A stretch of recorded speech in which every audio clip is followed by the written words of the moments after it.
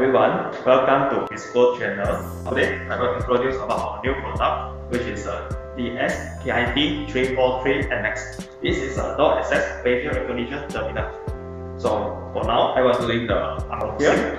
It's a device and this is a 4.3 inch screen size and here we have a MIFARE card module, the built-in card module here.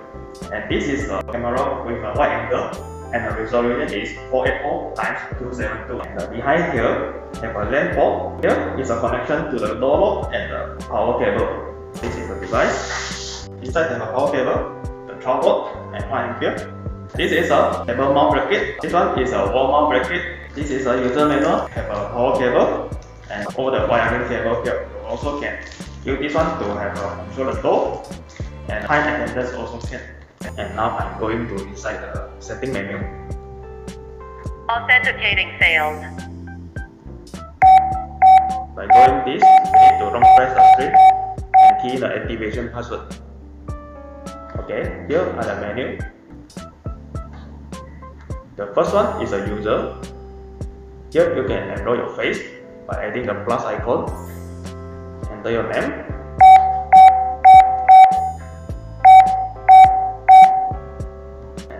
face.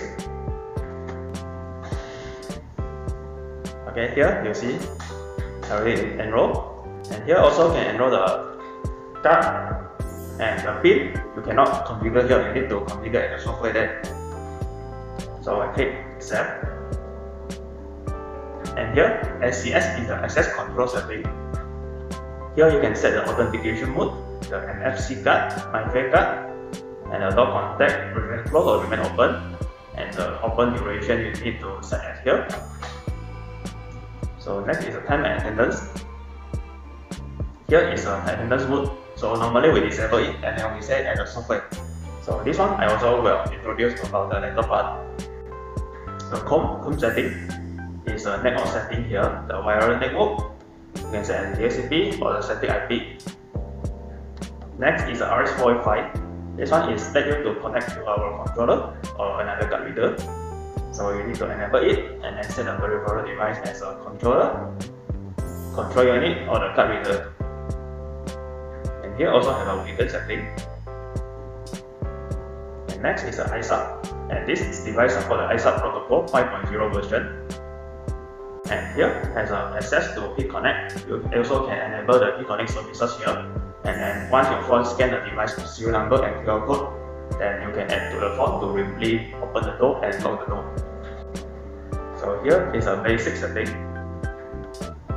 Basic setting is have a shortcut key. What is a shortcut key? Shortcut key you can use the call and then redirect to the call room, call center, call specific room, and call X. Call room in which means that you can use this one to connect uh, indoor station and then call to the indoor station, have a two-way audio, and that indoor station have a remotely unlock the door. So call center that means you can call the center's device, which is a software or the center indoor station. And here has a call X. Call X is let you to call to the Connect X to have a remote remote unlock the door also. And below here is a basic setting for the voice setting, time setting, sleeping time, language, and uh, all the basic info and the biometric here. Here you can uh, do the face likeness level, recognition distance, we leave it at auto, and the security level you can set it higher. And the data, so for the data here, you can delete the data here, import the data and export the data also.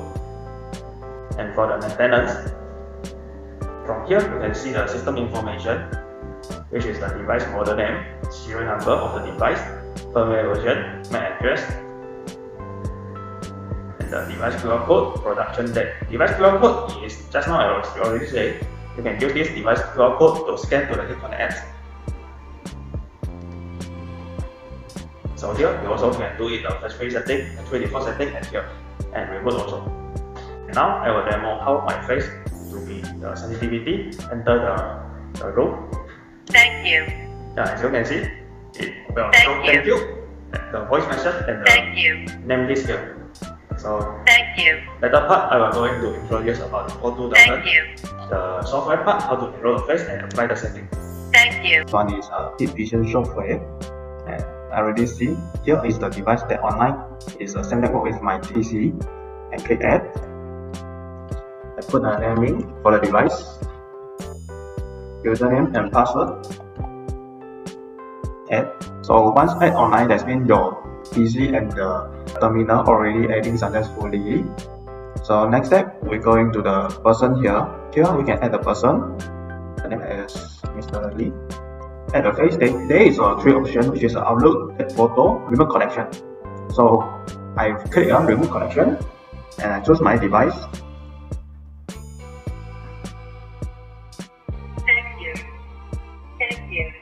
Here, I remote connection is from the device itself there and click OK. Add. After that, you need to go to the access control, access group. Under the access group, select your person and your device. If, let, if let's say you get the multiple access point here, so you can uh, at the same time to apply to all the device here. Click and then apply changes to device. Yeah, so that's all for the configuration here, and then you can see the monitoring here. I'm gonna go and scan my face, and then here is the real-time monitoring. Thank you. Thank you. As you see here, here is a Mr. Lee, just now I enrolled that one. They'll show the picture. And if you want to retrieve the record, you can go to the time attendance module here. Attendance record. Get event from device. Yeah, click search.